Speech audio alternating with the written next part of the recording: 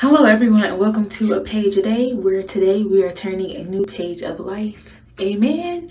My name is Jay Page. Welcome if you're new to this channel and hello to all my subbies. How y'all doing? I haven't been on here in a minute uh because of work.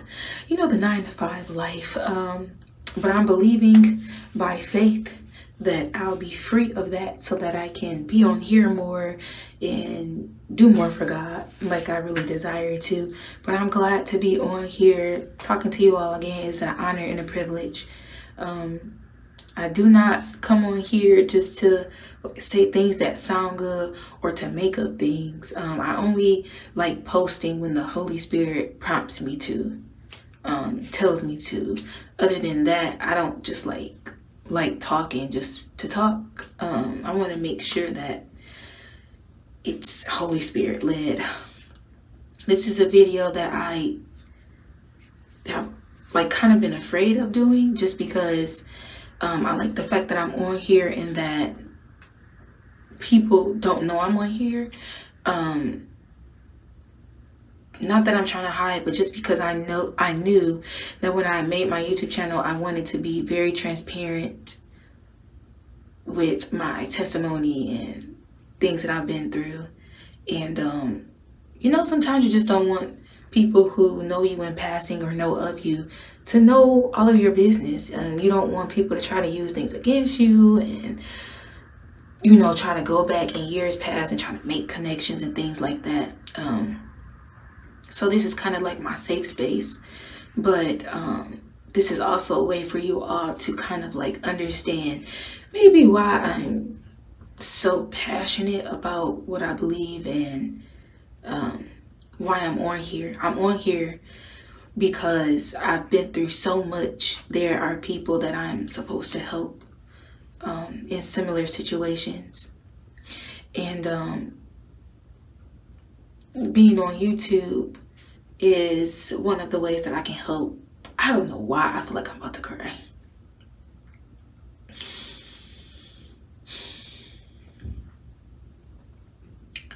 Um, so, um, as you can tell by the title, or maybe not, I don't know what I'm gonna title this. You might be able to tell, you might not, but um, yeah, so I used to have a pornography addiction. Uh, I don't think anyone in my family knew. I hid it from them pretty well. Um, I was first introduced to pornography when I was maybe 12 or 13 i found it on i was not looking for it um, just to give you all a quick background um, everyone in my family knew how pure I was and how I protected my purity. I protected my innocence. I didn't find out what sex was until I was 16 years old. Um, and I would have waited until I was 18 or 20. But because all the kids are talking about it at school, I figured, you know, let me just ask my dad what it is so I can know what these kids are saying and so I can know the correct things about it versus what kids at school are telling me. So at 16, I asked my dad what it was. And after that, I was like, don't tell me nothing else. I don't want to know nothing else about it. Um, I wanted to play with Barbie dolls as long as I could, baby dolls. Like I just, my Polly Pocket Castle, like I wanted to be that pure kid as long as I could. I never tried to grow up fast. I didn't like that.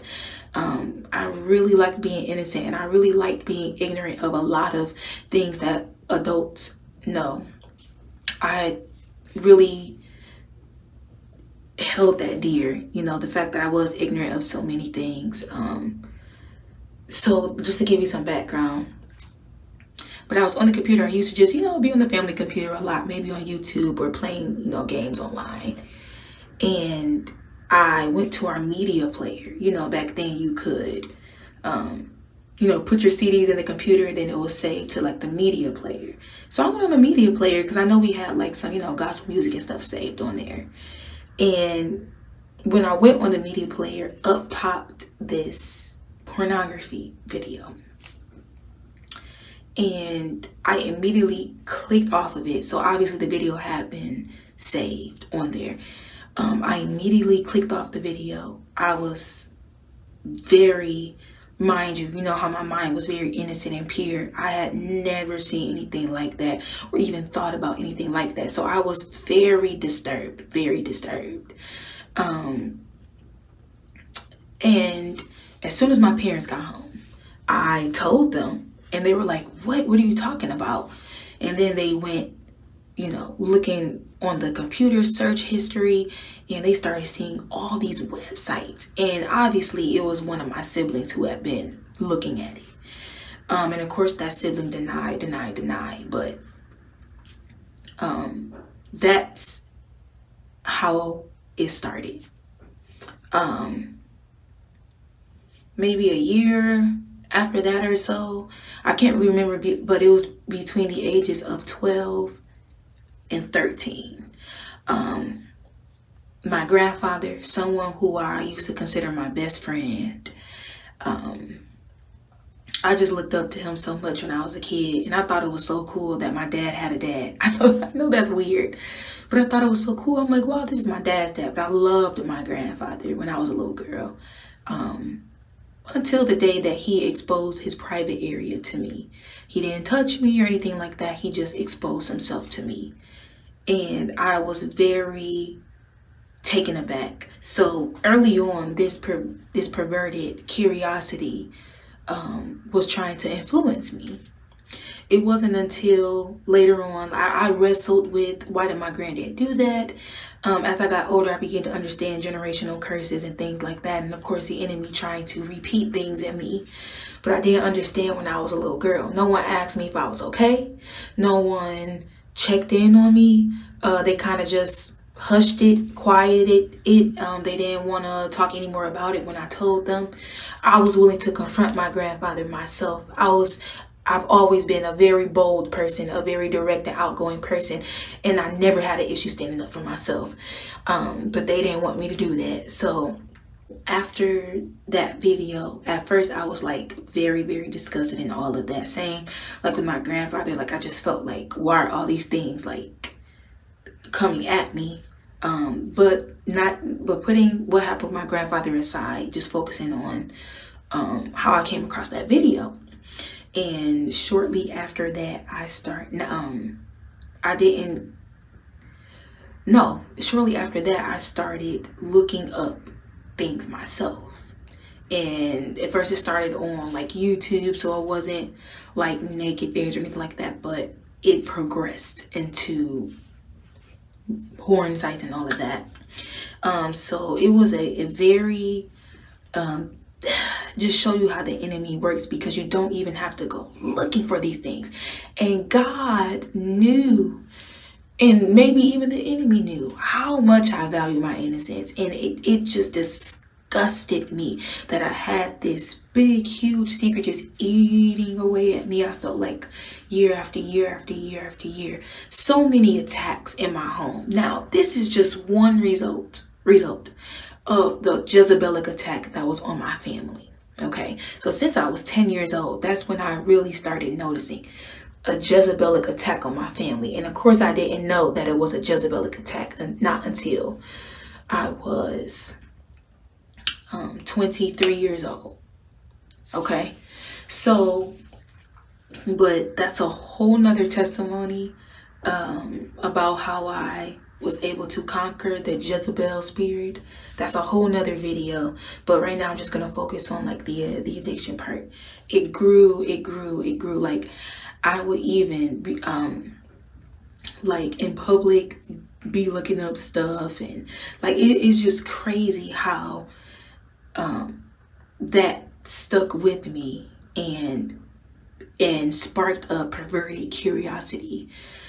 So I wrestled with it between the ages of, I think it started around 12, 13, 14, and all the way through recently up until like two years ago. Um, I went, um, so when I graduated college, so all through college, I was heavily addicted to pornography. Um, I would even, I'm talking quiet because I'm in my apartment and it's late. Um, I would even like miss events with my friends and outings with my friends because I would feel so guilty that I was doing that.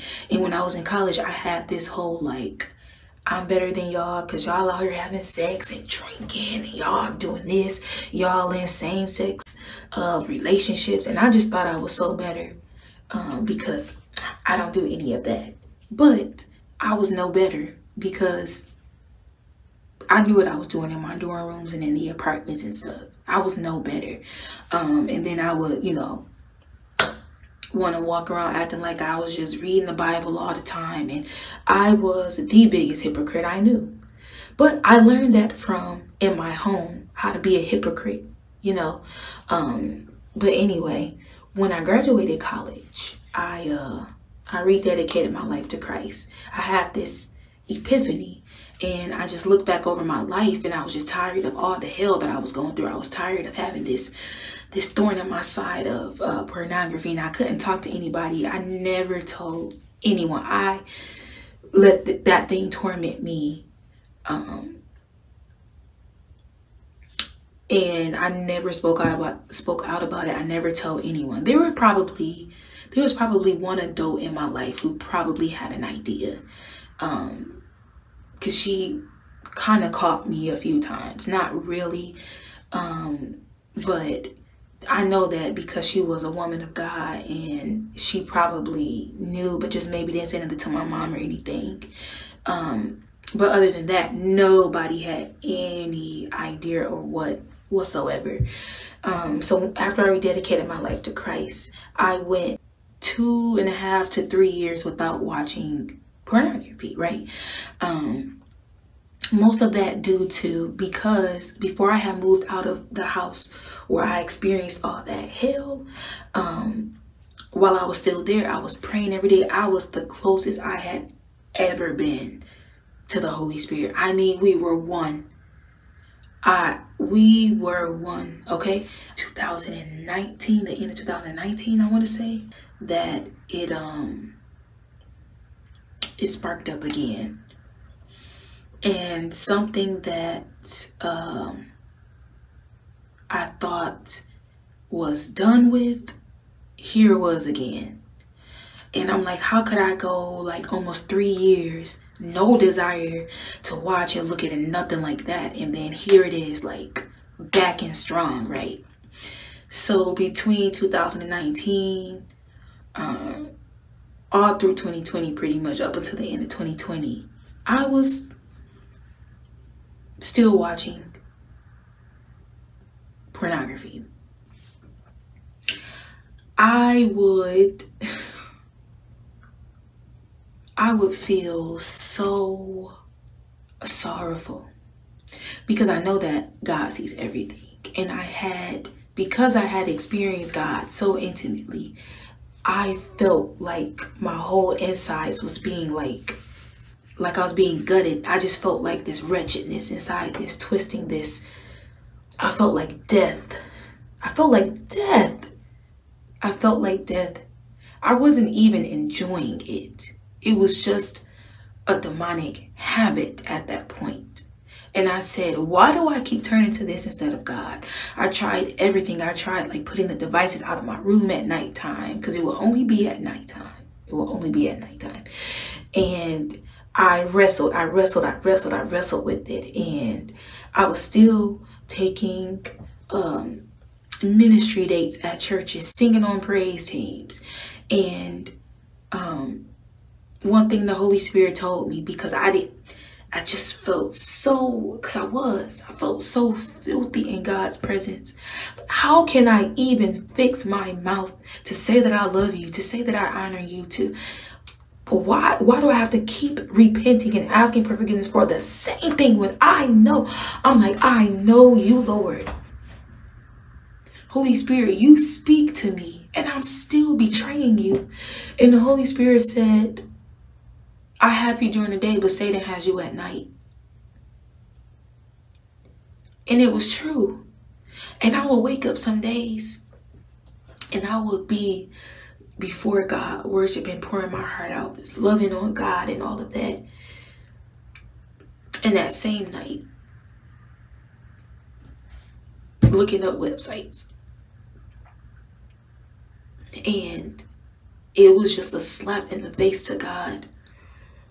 It was a slap in the face. And I just got to the point where it's like, I started getting scared at one point because once again, remember, like I had gone years without it. And for it to resurface the way it did, like I thought I would never deal with it again. I was scared. Like, you know, at one point I was kind of letting the enemy convince me like I will always be that way. Like that I can never truly get free. And oh well, God understands. Like it's whatever God understands. Like sometimes I'm just gonna be in the mood for it and it's whatever. Like it's fine. Like I was allowing the enemy to convince me of these things because I felt powerless and it started to freak me out at one point. Um, but the Holy Spirit reminded me that it was a choice and that I was very much in control because before I would sing on Sundays, that weekend or the, the Friday or Saturday before, I would say, I'm not going to look at it. And I won't look at it because I will say, when I go to church and I'm on that stage singing, I don't want any guilt. I don't want any images playing in my mind. I don't want any um, condemnation or shame. I just want to be able to worship God freely, knowing that I was I've been living pure, you know. And I told myself I'm not gonna do it, and I didn't do it. And that's when the Holy Spirit said, You you're choosing. You're choosing. It's no longer an addiction, it's a choice. And that's when I realized if I have the willpower to say no, because I have church the next day, then I can say no every day. Right? So what what final thing mind you every time i fell i got back up and, re- and, and returned to christ. Every time i fell i went to god. Every time i fell i went to god. Every time i fell i fell went to god. I fell i went to god. I never ever ever ever ever let um went without repentance like every time i went right back to god every time every time and it was breaking it was breaking my heart and i knew i was breaking god's heart and i'm like you have to stop. One night, this is this is what made me in for good. And I have not looked back since. God told me one night, he said, if you continue to look at this, because there was no more grace for me, and that's what he told me. There's no more grace for you in this area. Years ago in college and all that, before you got delivered and before you, you know, new things, the things that were attacking you and all of that, you were in the dark. There was grace for that. It was never condoned. God will never condone our sin. He had grace and mercy on me because he knew I was going through some things. But he said, now that you know there's no more grace for you. And God said, if you look at this again, the enemy will try to put a sickness on you. And he'll have the legal right to do that because you're willingly making a choice to watch this. And after God told me that, I said, I'm not doing it again. That's it.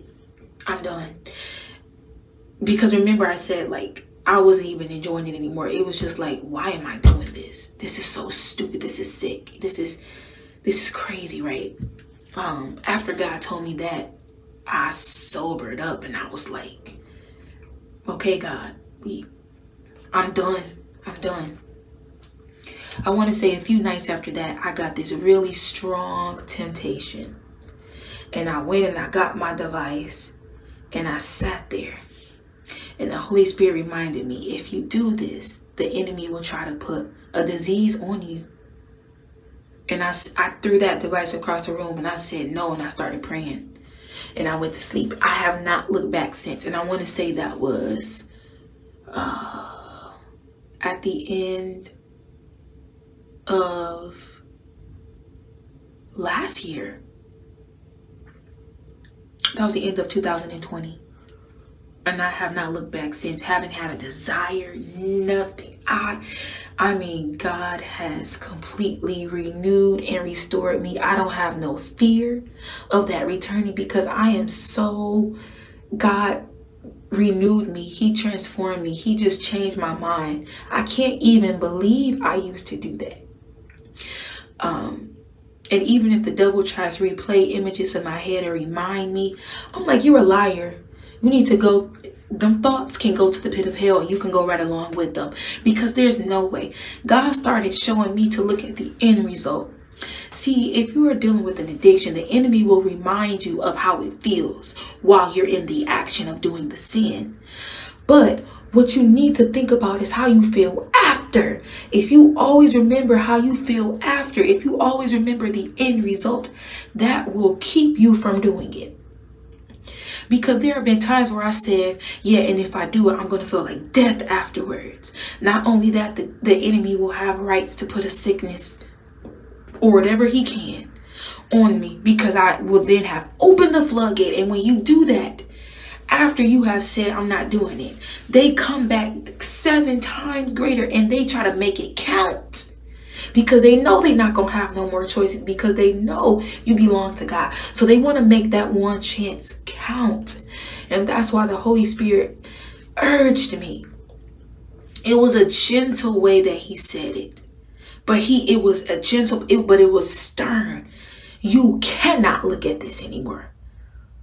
Basically saying the devil wants you dead.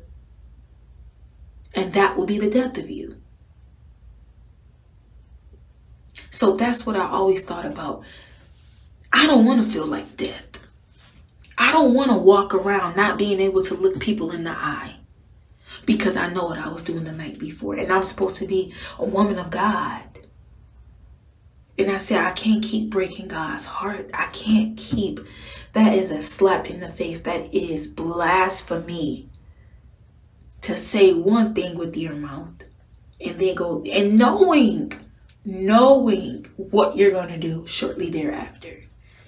I that was my conviction. I'm not speaking for nobody else. That was my conviction. And that is what has been keeping me. The love of the Father. The love of the Father. And I took that warning seriously. Sometimes illnesses and things like that are a result of sin.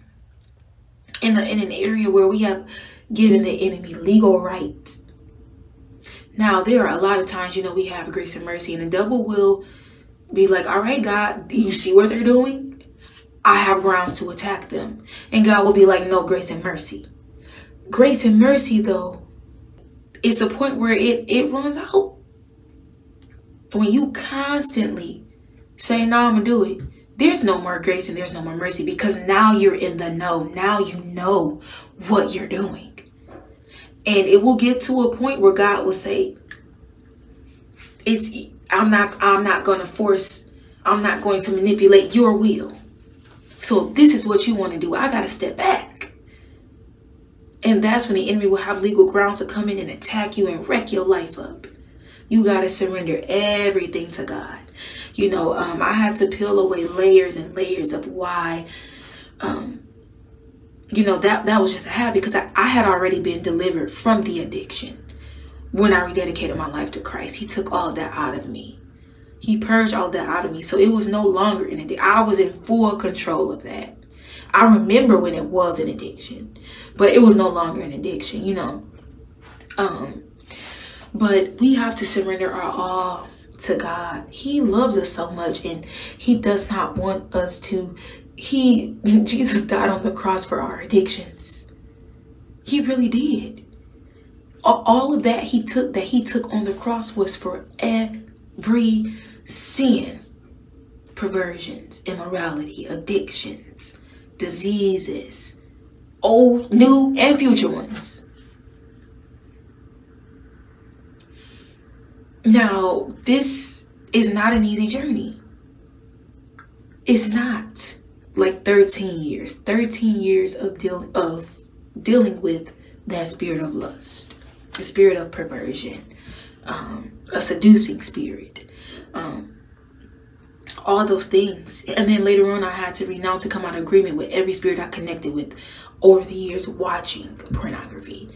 Um, you know, it's a lot of witches online and everything. You just never know who you're connecting with. And, you know, those are things that you got to come out of agreement with as well. Um, but um, glory to God and all glory to God. Um, if you are feeling frustrated, you feeling hopeless, and you think, I don't, I don't you can't ever see yourself without your addiction, that's a lie from the enemy. It's a lie. He wants you to believe that.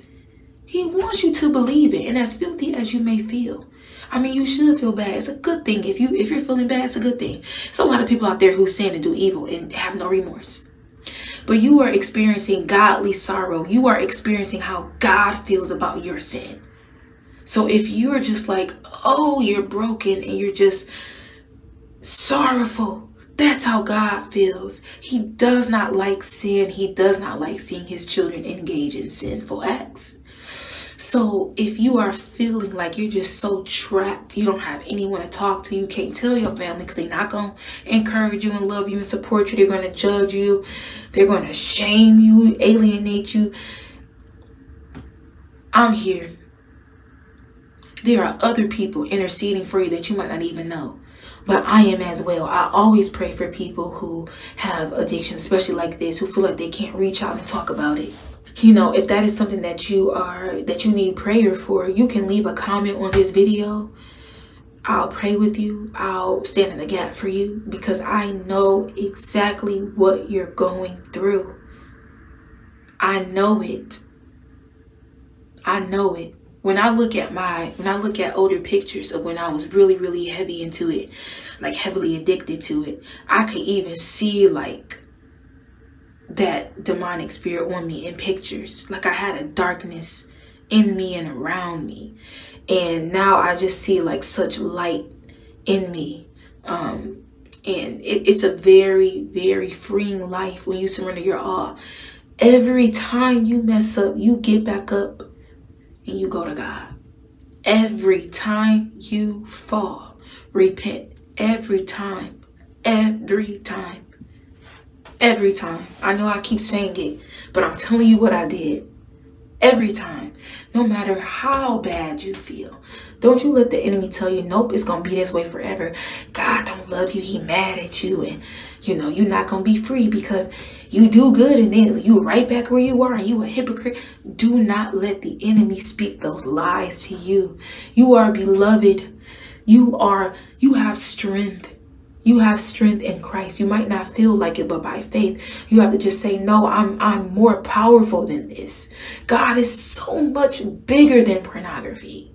Pornography looks like, like pornography ain't nothing to our God of the universe. It is nothing. There is nothing too great or too strong where God cannot intervene and wipe you clean and wash you of that and transform your mind and your heart where you like, I don't even think about that no more.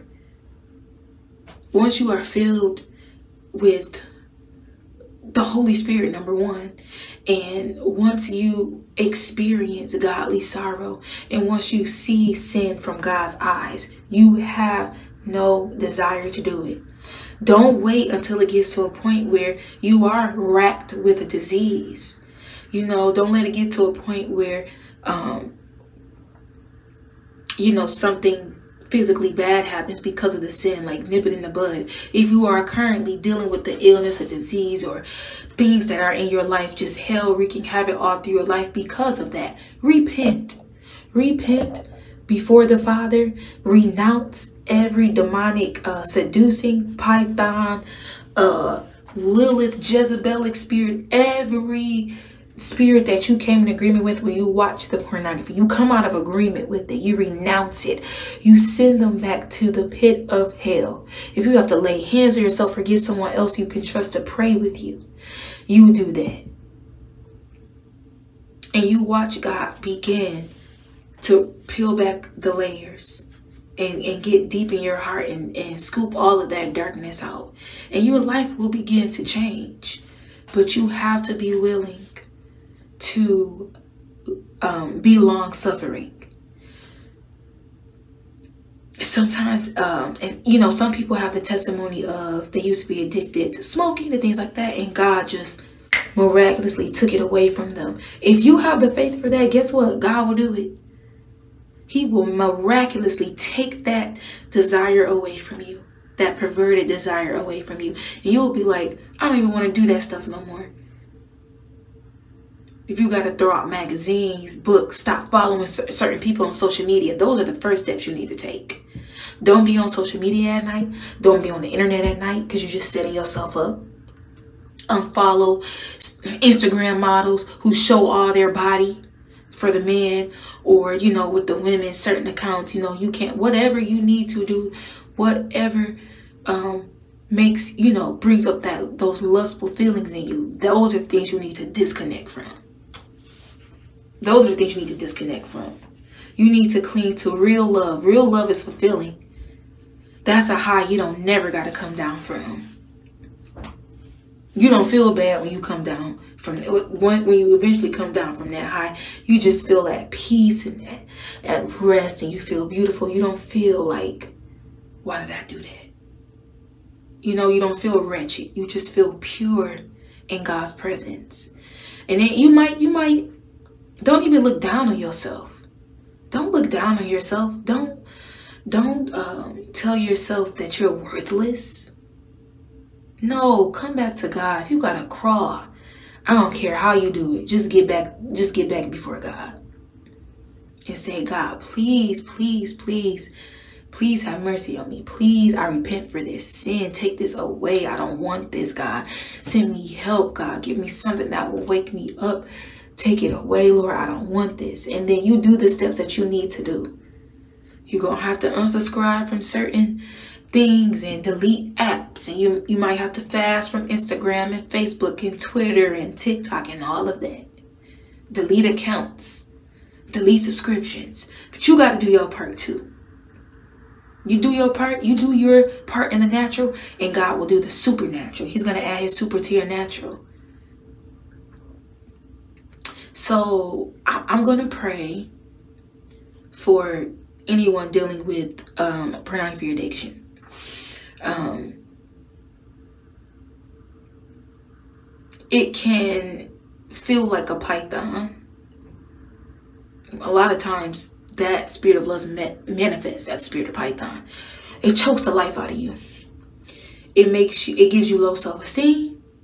Um, it perverts um, something beautiful that's between man and woman. You know, God created sex for the institution of marriage and uh, that's where he honors sexual intercourse and it is not meant to be perverted or used for any other you know what i'm saying? Um it's not meant to be perverted. And uh, pornography distorts all of that. It rewires your brain. It just does a lot of crazy things in you and there can also once again be a lot of manifestations of illnesses in your body. If you feel like you're already at the point where an illness has uh, manifested or you feel it coming on or don't be afraid. Okay? We got to take responsibility for what we have done. We repent and then we stand on faith that because god loves you he loves you and it is not in his will nor is it his desire to see you suffer. And he won't. You won't suffer for long. It might feel like it but just stand on the fact that God loves you. He loves you. And every time you come back to him, he receives you with open arms like it's the first time every time. And he throws it into the sea of forgetfulness. He's not holding your past against you. So don't hold your yesterday against yourself. There are new mercies available to you every day. So Father God, right now, as I stretch my hand towards towards the camera, God, I ask you will touch every person watching this video who is dealing with a pornography addiction, a lust addiction, Father God, sexual immorality, all of that, Lord. Somewhere along the line, there was a breach in the spirit. For those who have forgotten where that breach happened, God pinpointed for, for them the moment where where um, the lust first entered, Lord. Let's get to the root of it, Holy Spirit. Let's get to the root of it. Let them get to the root of it, Holy Spirit. So that they can identify what caused it and begin to heal from it, Lord. Send them um, godly counselors, send them godly friends and mentors who can pray with them and help them to break it, Lord. But if that's not available, and if that's not available to them, Holy Spirit, send them to more people online, Lord, who will be able to steer them in the right direction, God. I ask, Lord, that you will continue to shower your mercy, shower your mercy, Jesus, on your children, God. You know what they have been through. You know the traumas they have been through to spark such a um, such a stronghold in their life, God. You know the generational curses, God, that they are that they are fighting and standing up against, God. God, you are powerful, you are merciful. And just as you stood by my side for years, God, I ask that you'll do the same for every brother and sister watching, God. Do the same for them, God. Let them not um, be ashamed to come to you and repent, God. Let them not be ashamed to praise you and to thank you, God, for another for another chance, Lord. They are here for a reason. They are here for a reason. We know that the enemy wants to kill them. He wants to see them dead, God. But you, you, you, I've promised life and life abundantly, God. Every sin and addiction that they are dealing with was handled on the cross. It was handled on the cross, and by Jesus' stripes, they were made free. They were made healed from every sickness of the mind, every sickness of the heart, Father God. Fill them right now, God. Fill them with love. Everyone watching this video, Lord, fill them. Touch their heart, Holy Spirit. Mend every broken part. Bring every piece back together. Transform their mind, God, where they have no desire to sin. Lord, that it breaks their heart to even think about sin in the name of Jesus. The things that they do at night, God. The things that they do at night, Lord. The things that, that are hidden, I ask God that you, that they will not be exposed, God, that you will extend grace to them to get it right. Because we know that you don't expose them, Lord. We know that the enemy, the enemy wants to expose them. But I ask God, I pray for a special, a special grace for them, God. Because you ne you never allowed the enemy to expose me, Lord. And I could have been. I could have been, Lord. And I ask that you would give more grace that they will not be exposed, Lord, but that you will give them time in private to get it right, God. They are sorry, Lord. They are sorry. They have, I, I pray for a godly sorrow that will come upon them, God. I pray that their heart will break for what your heart breaks for in Jesus' name. I pray that they will see sin the way that you see sin, God. And that every time, every time they will come back to you, God. I thank you for freedom in the name of Jesus. I thank you for breaking every demonic perversion over their life, breaking it, shattering it, I choke every Jezebel spirit. I choke out every lustful, seducing spirit in the name of Jesus. Every witchcraft spirit that has been working against them, I bind it in the name of Jesus. And I cast it to the pit of hell right now in the name of Jesus. You cannot have them. You cannot have that brother. You cannot have that sister. You cannot have that man or that woman of God. Say that you cannot have them. They belong to Jesus Christ. And you know it. And you know it. I ask God that you will um, close, that, that, that my brothers and sisters will close every door, every gateway that they open to the enemy, that it is closed now in Jesus' name. Sealed so that he no longer has legal right or authority to attack their mind, to attack their heart, or to attack their bodies.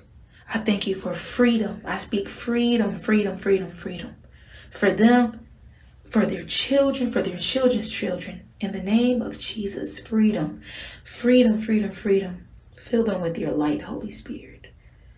Give them a, a way of escape. Give them a strategy, Lord, specifically tailored to them so that they may walk in your light and your freedom. And I thank you for this. In the name of Jesus, amen um i was turned to the wall i was supposed to be turned here i'm sorry um but yes i i pray that over all of you and uh this video is vi very long, but it all needed to be said. I am excited for you all's freedom, and I pray that you, my prayer is that you felt something break um, just now. God bless you all. I love you all, and I hope to be on here more. I gotta get my time management together, but um, I will see you all in the next video. Um, God loves you, and you are going to overcome this in the name of Jesus.